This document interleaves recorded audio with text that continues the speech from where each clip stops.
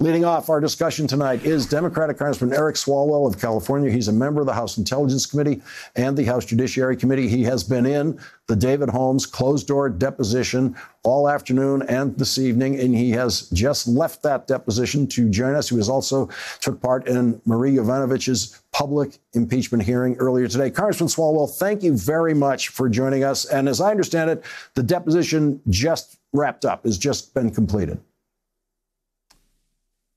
Uh, good evening, Lawrence. Uh, we are done with uh, both Ambassador Yovanovitch's testimony and the deposition uh, with David Holmes. And of course, tomorrow morning, bright and early, uh, we have uh, one last witness for the week, an OMB employee.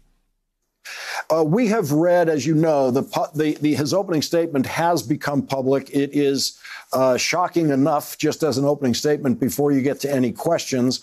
after this opening statement, uh, what was developed in the six hours of, uh, of testimony that followed it? Just what exactly uh, did Mr. Holmes see? Uh, what did he hear? And what did he do? Uh, you know, it was the reason we called him in uh, today. I will say, first and foremost, uh, with gratitude to Mr. Holmes because he showed up. He came from Ukraine, and despite Mick Mulvaney and John Bolton and Secretary uh, Rick Perry uh, refusing to cooperate with our investigation. Uh, Mr. Holmes continues this long line of uh, career Foreign Service officers honoring uh, the duty to cooperate with Congress. And each time someone has done that, just as Mr. Holmes did today, uh, we have learned new information, and we learn new information today. And uh, in terms of the uh, the security of that phone call, that cell phone call, did you learn any more details about exactly what kind of device that was? Was that a personal cell phone, uh, making that uh, call all the more risky? So, Lawrence, I'm not going to go into his uh, testimony just yet. I'll let our chairman uh, characterize that. but I will say I think we're about five exits past operational security concerns as it relates to Donald Trump. we know uh, that Donald Trump uh, does not really op- execute or carry out operational security as it relates uh, to his cell phone. There were concerns from other witnesses about Ambassador Sondland and his own operational security. What we are focused on, though, is whether the president leveraged taxpayer dollars for his personal benefit to have the Ukrainians investigate his opponent. And as you heard Ambassador Taylor talk about his interaction with David Holmes I don't think there's anyone in the world who has a hard time believing that Donald Trump, the day after he talked to President Zelensky, followed up with Ambassador Sondland to say, hey, are they going to follow through with these investigations? It's obsessive behavior by the president because he needed those investigations for his own personal political gain.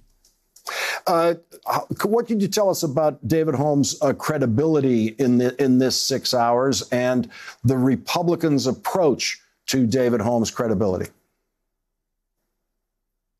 Uh, well, Lawrence, I, I, can tell you, uh, just like people before him, uh, you know, he has served uh, all over uh, the world. You know, he is a person of integrity.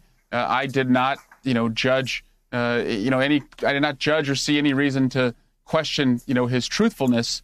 and again, the fact that he showed up says a lot about who he is compared to so many people who have chosen to defy us. Uh, and I, I don't expect uh, there to be any issues uh, with his integrity or credibility. Uh, the the opening statement, I think, has many things that are striking, but but one thing about it is, it, it's very clear that David Holmes is saying that uh, he didn't see himself as a witness in these proceedings until he heard Republicans complaining uh, repeatedly about hearsay and he realized that what he has to say is not hearsay. He was a, a, a witness physically present, listening to these words exactly as they were spoken. Uh, what, was there any uh, complaining about hearsay in this deposition today? uh, I did not hear uh, them say anything about that, uh, Lawrence. Uh, however, the best evidence remains the president's own words that the president put out. That's an admission by the president. Uh, the next best as evidence we have from people like Ambassador Sondland, uh, who told Ambassador Taylor the president was telling him everything is on the line with the Ukrainians, not just the White House visit, but also the security assistance. And of course, as Ambassador Taylor described, you have a new witness in David Holmes uh, who heard the president uh, talking obsessively uh, about the investigations with the Bidens. And, and, finally, Lawrence, we use hearsay all the time if we are talking about hearsay to find out uh, and take actions. Uh, by the way, uh, a terrorist named Osama bin Laden was captured and brought to justice in Abbottabad, Pakistan, based on hearsay evidence. So hearsay evidence can be quite effective. And uh, David Holmes was very, uh, in his opening statement, uh, full of praise for Ambassador Yovanovitch. What was your your assessment in the end of that of the of the effect of the public hearing this morning?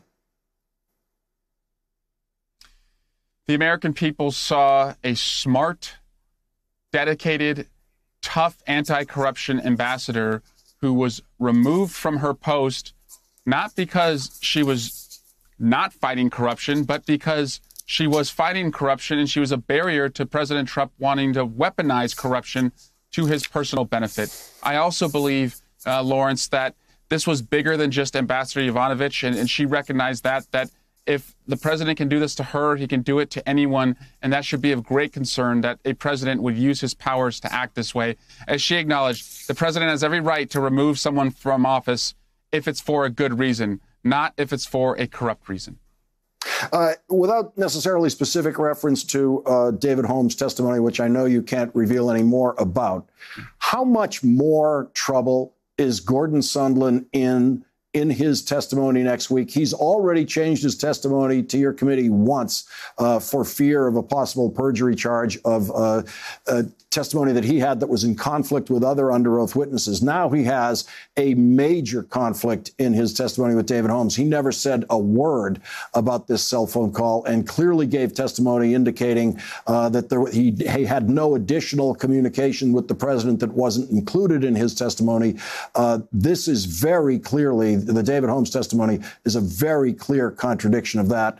So where, where do you see Gordon Sondland's possible legal jeopardy at this point tonight?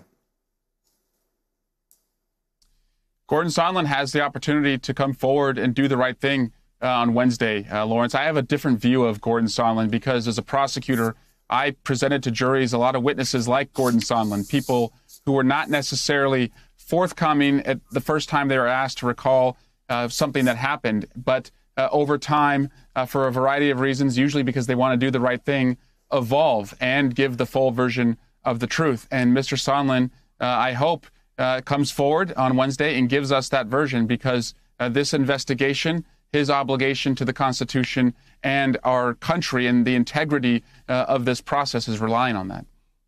Congressman Eric Swalwell, thank you very much for joining us after this very long day for My you pleasure. with the committee's work. Thanks, I really appreciate it. Thank you. Thanks for checking out our YouTube channel. Subscribe by clicking on the button below for more from The Last Word and the rest of MSNBC.